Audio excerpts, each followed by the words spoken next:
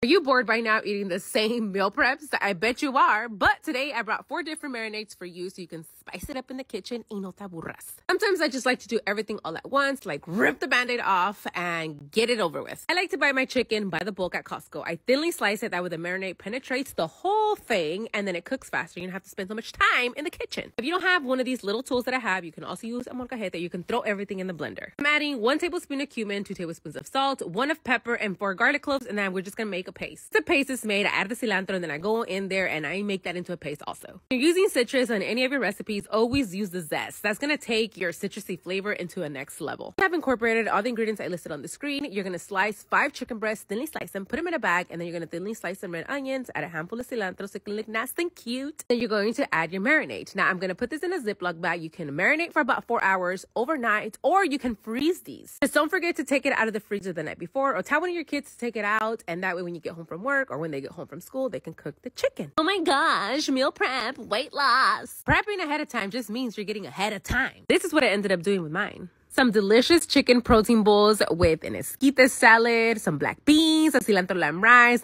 the whole nine. I even made it for my friends and followers. Be like this recipe, bye. Let's pack today's lunchbox for my friends and followers. So it's been a while since I made any lunchboxes for my friends and followers. So I was having like withdrawals. I was like, please let me take you a lunchbox to work. So today we're making them some delicious chicken bowls or Baja bowls, Mexican bowls, Chipotle bowls, whatever bowls. We begin by marinating some chicken breast in a cilantro lime marinade. Then I tell the hubby to sear the chicken in a little bit of olive oil while I make the rest of the toppings. I'm gonna make a quick and easy buttery cilantro lime rice that I literally make in under 15 minutes. I wanted to make a dressing, but I want to make it so heavy. So I'm to make an avocado tomatillo dressing. To my blender, I put all of my ingredients along with some yogurt and a little bit of mayo. We're gonna blend it all until it's nice and smooth, and then we're gonna assemble a whole little station because the bowls van a salir en chinga. We're gonna add a couple of scoops of that buttery cilantro lime rice. We also made some black beans. Of course, we're gonna add our daily greens, some lettuce, a mango pico de gallo, and then we're gonna add an esquite salad. I ended up cutting up all the chicken into little cubes. That way nobody chokes. A big old scoop of guacamole, and then I'm going to add the dressing into the little containers. That way they can do it themselves. I did tell them that I was gonna owe them the agua frescas because I just wanted to get back on the game. You know, I just wanted to drop off those lunch boxes. That was it, guys. Now I'm just gonna get everything ready for them, not including the drinks, so they can come pick up during lunchtime.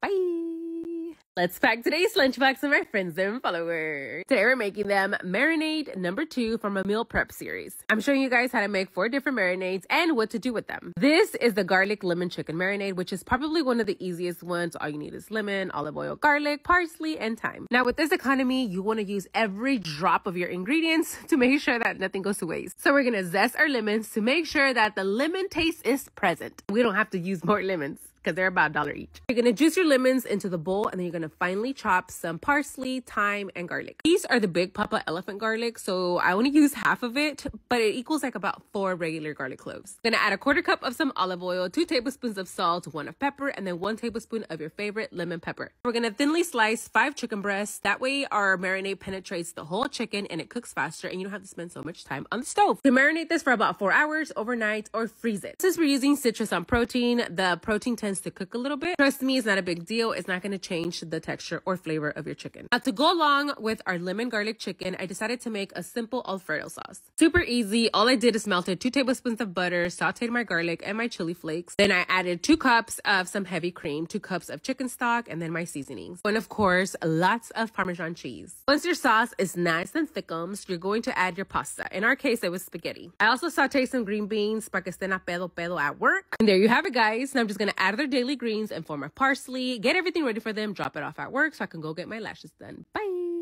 If you're coming home from work or school tired, the first thing you're gonna do is probably go and get takeout. Trust me, I know because I am that person. One of my New Year's resolution is to stop eating out so much. I decided to make a couple of meal preps so I can get dinner out of the way and I don't have to spend any more money than I have to. This is marinade number three from my meal prep series. We are making some sesame chicken bowls. Gonna begin by marinating the chicken, obviously. So in a bowl, you're gonna add your soy sauce, garlic, ginger, some brown sugar, hoisin sauce, honey, a little bit of sesame seed oil, some toasted sesame seeds. I didn't have any sesame seeds, so I had to use everything but the bagel. At the end of the day, guys, I'm gonna get my family fed, whether I got the ingredient or not. We're gonna add lots of green onions to the marinade, and then we're gonna put this in a Ziploc bag. You can marinate this for about four hours overnight or freeze it. I actually froze this. I was ready to use it. I just took it out, let it thaw, and then I sauteed it with some oil. I'm gonna serve this with steamed rice, and then I add my chopped up chicken on the top. I made like a little simple salad with some cabbage, onions, carrots, and some cilantro. I also made some spinach with some sesame seed and garlic, an Asian cucumber salad, and I just googled the recipe, but if you want me to drop it here, let me know. We're gonna add a couple of hard-boiled eggs, avocado, spicy mayo, and of course some sriracha sauce. I'm telling you guys, this bowl was the best. Now don't believe me, make it yourself and let me know. If you like this recipe, bye!